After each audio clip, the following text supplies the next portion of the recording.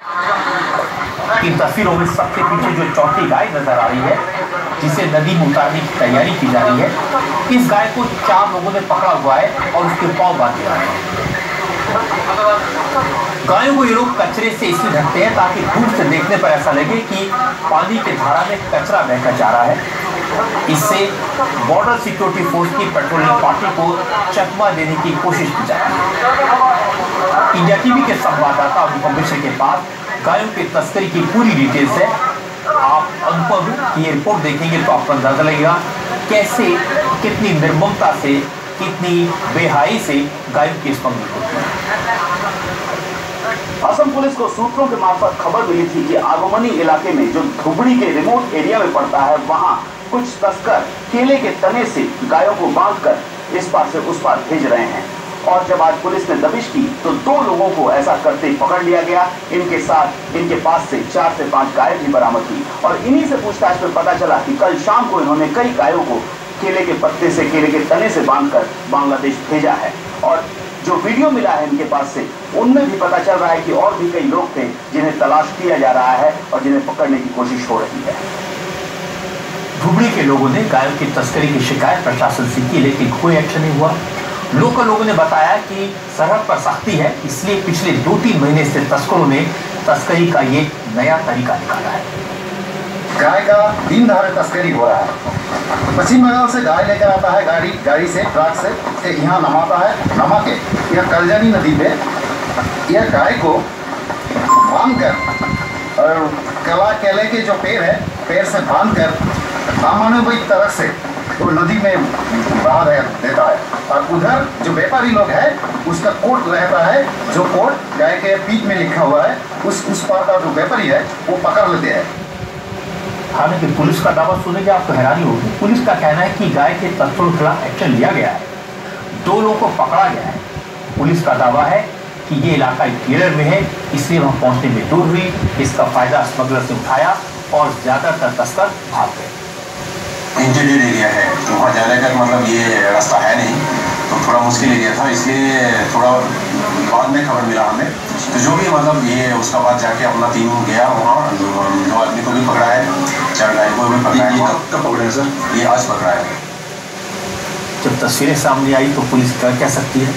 Police ने यह भी कहा कि बॉर्डर पर सख्ती पड़ गई है पेट्रोलिंग पड़ गई है इसलिए तस्करों ने कहा कि तस्करी का ये नया तरीका ढूंढा है। लेकिन बड़ी बात यह है कि लोकल लोगों ने पुलिस को जानकारी दी पुलिस को सपोर्ट किया इसलिए थोड़ा बहुत एक्शन हो पाया। ट्रेडिशनल जो रूट था वो रूट बंद हो गया है। तो इसलिए मतलब ये लोग नया नया रास्ता मतलब ये शुरू किया है कोशिश कर रहे हैं मतलब जैसे भी हो मतलब वो पार कराना है। तो हमें भी लगे हुए हैं और आदमी भी लगे हुए हैं मतलब ये बंद करना चाहिए। पब्लिक का कभी काफ़ी सपोर्ट मिल रहा है खबर भी मिल रहा है तो एक्शन ले रहे हैं हम।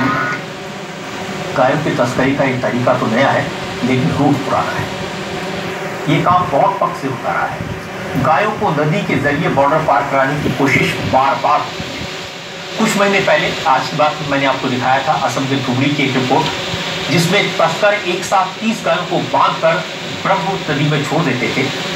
गायों के साथ एक तस्कर रहता था, ताकि वो गाय के मूवमेंट को कंट्रोल कर सके।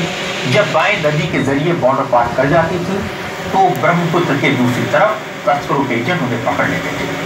तस्कर इन गायों पर एक खास तरह की मोहर लगा देते थे ताकि बॉर्डर के दूसरी तरफ़ एजेंट को स्मगलर की गई गायों को पहचानने में दिक्कत न हो। आसपास के इलाकों से गायों को असम और वेस्ट बंगाल के बॉर्डर तक लाया जाता है। तस्कर धुबड़ी में इन गायों को एक जगह इकट्ठा करते हैं और मौका देकर नदी के ज़रिए गायों को बॉर्डर पार कराते हैं। दिन में गायों की स्मगलिंग कम होती है। ज़्यादातर तस्कर रात में स्मगलिंग करते हैं। इंडिया टीवी के रिपोर्टर अनुपम धुबड़ी धुबड़ी के उस इलाके में गए जहाँ से गायें बांग्लादेश भेजी जाती है। भारत बांग्लादेश बॉर्डर पर एक ऐसी जगह पर हूँ जहाँ पर गायों को कैटल्स को बाँध कर रखा गया है और जैसे ही रात होगी, इन कैटल्स को यहाँ से ले जाया जाएगा। नदी किनारे जहाँ पर फेंसिंग नहीं है, वहाँ पर इस पार से उस पार ले जाया जाएगा। यहाँ पर हज़ारों की संख्या में रोज गाय पार हो रही है, और ये आंकड़ा बहुत बड़ा है और टर्नओवर लाखों करोड़ों में है। ये बात भी यहाँ पर जानने को मिल रही है। फ़िलहाल ये बॉर्डर मैं आपको दिखाता हूँ। पीओपी है। धुबरी में ये बॉर्डर है, सोनाहाट बॉर्डर ठीक उस पार बांग्लादेश है। यहाँ पर फेंसिंग है, लेकिन यहाँ से थोड़ी दूर जाने पर फेंसिंग नहीं है। और इन गायों को जहाँ यहाँ बाँध कर रखा गया है, इस तरह से गायों में हर बीच बीच जगह पे बहुत सारी गायों को कैटल्स को बाँध कर रखा गया है। इनको रात में यहाँ से ले जाकर बॉर्डर पे जहाँ पर फेंसिंग नहीं है, इस पार से उस पार ले जाया जाएगा। अब एक सवाल आप पूछ सकते हैं कि असल में गायों की इतनी तस्करी क्यों होती है? आखिर वजह क्या है? असल में बांग्लादेश बॉर्डर के पास बीफ एक्सपोर्ट करने वाले बड़े बड़े स्लॉटर हाउसेज हैं, जहाँ से बीफ को प्रोसेस करके गल्फ कंट्रीज़ में भेजा जाता है। गल्फ के देशों में भारत की गायों के मीट की डिमांड काफ़ी ज़्यादा है। भारत में गाय तीस हज़ार रुपये मिल जाती है, लेकिन बांग्लादेश में स्लॉटर हाउसेज को वो साठ हज़ार रुपये में बेची जाती है। और गाय के बछड़ों को पच्चीस हज़ार में खरीद कर चालीस हज़ार रुपये में बेचा जाता है। स्मगलर्स को इसमें काफ़ी प्रॉफिट मिलता है। इससे ये लोग जोखिम उठाकर गायों की स्मगलिंग करते हैं। गाय तस्करी पर बीएसएफ काफ़ी एक्शन ले चुकी है। नदी पर भी चौबीसों घंटे पेट्रोलिंग होती है। हज़ारों गायों को बीएसएफ के जवानों ने रेस्क्यू किया है। दर्जनों की तादाद में तस्कर पकड़े भी गए हैं। काउ स्मगलिंग को कंट्रोल करने में बीएसएफ काफ़ी हद तक कामयाब हुई है। लेकिन पूरी तरह रोक नहीं लग पाई। और इसकी वजह यह है कि नदी पर फेंसिंग नहीं हो सकती पेट्रोलिंग हो सकती है। तस्कर हर वक्त पेट्रोलिंग पार्टी पर नज़र रखते हैं। उनकी टाइमिंग के हिसाब से वो गायों का मूवमेंट करते हैं। अनुपम जब धुबड़ी गए थे तो वहाँ उन्हें ऐसे लोग मिले जो गाय को बुरी तरह से बाँध कर ले जा रहे थे। अनुपम ने उनसे पूछा कि वो गाय को कहाँ ले जा रही है? तो लोगों ने बताया कि बाज़ार ले जा रहे हैं, लेकिन गाय की हालत देखकर समझ आ रहा था कि गाय ज़्यादा देर तक ज़िंदा नहीं रह पाई। यहाँ पर आप देख सकते हैं कि किस तरह से गाय को ले जाया जाता है। और यहाँ पे ये स्थिति हम बात करने की कोशिश कर रहे हैं। कहाँ से कहाँ पे ले जाने की बात है कुछ बताएँगे आप? गौरीपुर ले रहे हैं। गौरीपुर ले जा रहे हैं। अच्छा। गौरीपुर में कहाँ कहाँ ले जाएँगे?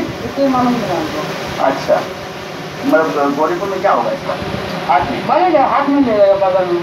बाज़ार में हाट में ले जाएगा। फ़िलहाल ये स्थिति है कि एक गाय है लेकिन इस तरह से काफ़ी संख्या में गायों को यहाँ पर ले जाया जाता है। ये तस्वीरें गवाह है कि गैर की स्मगलिंग काफ़ी दिन से हो रही है, काफ़ी मात्रा में हो रही है। लेकिन जब से गैर कानूनी सुरक्षा हाउसेज पर एक्शन हुआ और गाय की मूवमेंट पर रेस्ट्रिक्शन लगी तो स्मगलिंग और ज़्यादा हो गई। भारत से बांग्लादेश के लिए, जैसा मैंने आपको बताया कि काफ़ी मात्रा में मीट एक्सपोर्ट होता है।